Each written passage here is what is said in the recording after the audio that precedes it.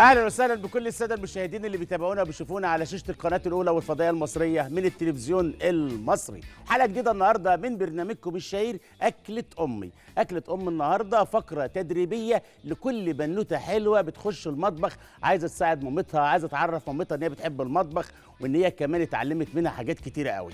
النهارده مع بعض هنعمل حاجة اسمها المولتن كيك. دي مشهورة جدا في بعض الكافيهات والمطاعم بندفع فيها فلوس قد كده وفي الآخر ما بناكلهاش زي ما إحنا عايزين. أنا هعملها النهارده بالشوكولا واعرفك إزاي تقدري تحطي ال flavor اللي انت حباه. ممكن تعملها بالصوص الفراولة بصوص الكراميل زي ما انت حابة. ولكن أشهرهم molten cake بالشوكولا. هنعملها النهارده بطريقة سهلة وبسيطة. معانا أكلة النهارده مشهورة جدا من المطبخ الليبي. كلنا عارفينها المبكبكة.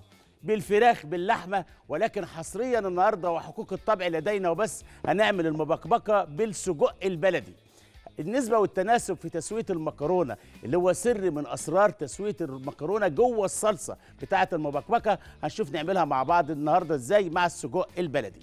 معانا نوع بطاطس النهاردة مشهور جدا الأطفال بيحبوه وفي بعض ال- ال- السوبر ماركات بيبقى موجود في العلب اسمها بطاطا كروكيت البطاطا المتفرزنة اللي في قلب الفريزر يعني. أنا هعملها النهارده بطريقتي البسيطة السهلة وأعلمك إزاي يا بنوتة يا حلوة تخش المطبخ تعملي نوع بطاطس حلو جدا تقدري تحشيه لحمة مفرومة فراخ seafood زي ما أنت عايزة. لها أسرار ولها تريكات اتعودنا نشوفها مع الشيف المغازي. أنا مش عايز أطول على حضراتكم لأن حلقتي فيها فيها شوية تفاصيل النهارده وفقرة تعليمية تدريبية. خلونا طبعا نطلع فاصل صغير وبعد الفاصل اوعى تروحوا بعيد. تابعوني.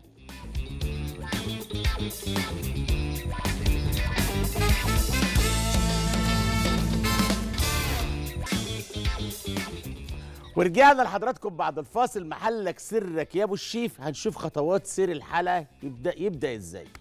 هنستأذن مخرجنا الجميل معلش بعد إذن فريق العمل اللطيف الجميل الحلو اللي معايا. هنستعرض بس المشتريات بتاعتنا علشان ما نقولش إن إحنا بنكلف. أو ان إحنا بنعمل اكلات في متناول الجميع بالعكس إحنا بنختار الماتيريال بتاع الاكلة وده في متناول الجميع. يعني هنعمل المبكبكة النهارده بالسجق. كلنا عارفين عناصر الشارع جزار بنعرفه الحاج أبو محمد. هات لنا نص كيلو سجق مع كيس مكرونة الصغيرة دي الجميلة الحلوة ودي معروفة في أي سوبر ماركت. دي أكلة مشهورة في المطبخ الليبي. معانا بطاطس من خير أرضنا سلقناها وحطيناها في التلاجة مسبقا حتى التبريد ولحمة مفرومة متعصجة من قلب التلاجة وهنعمل نوع بطاطس اسمه بطاطا كروكيت مشهورة جدا في المطابخ الغربية والأطفال بيحبوها. معانا ال molten cake وده في مقادير في متناول الجميع جوز بيضات من الثلاجه مع شوكولاته مبشورة أو كاكاو وسكر وزبدة وفانيليا و baking powder ومعلقتين من الدقيق. هي دي المقادير بتاعتنا. أنا النهارده بقى اعمل حاجة حلوة كده بما ان الجو برد.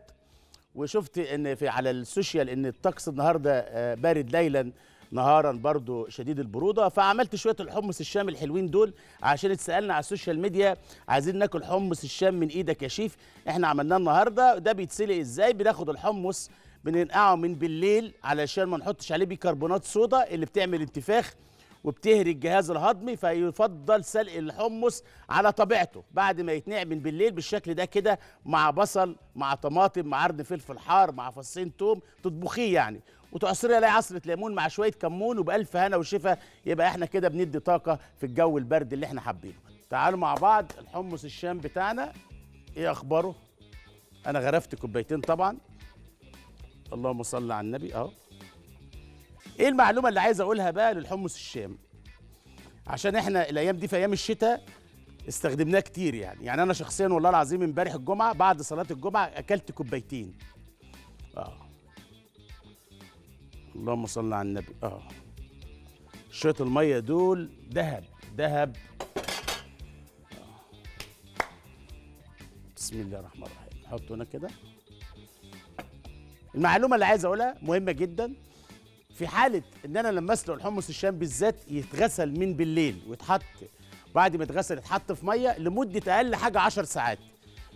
المية اللي اتنقع فيها الحمص بنخلص منها غير القمح.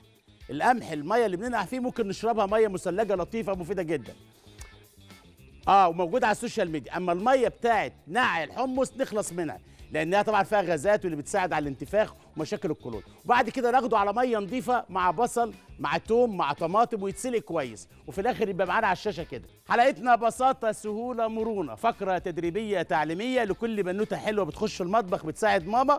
تقدري تعملي أكلة مشهورة جدا في المطبخ المغربي ولكن ببصمة مصرية. سجق بلدي مع رصة الشارع جبناها ومكرونة وعملنا طبق مشهور جدا. عملنا الحمص الشام عشان جو البرد. عملنا بطاطا كروكيت للأطفال الحلوين اللي بيسمعوا كلام بابا وماما. عملنا ال molten cake بطريقة الخاصة ده يبرد نحط عليه ice cream بألف هنا وشفا وبساطة سهولة مرونة تكلفة قليلة جدا. رؤية فن إبداع بنشوفه كل يوم على شاشة القناة الأولى والفضائية المصرية. منين يا مغازي؟ من ماس بيرو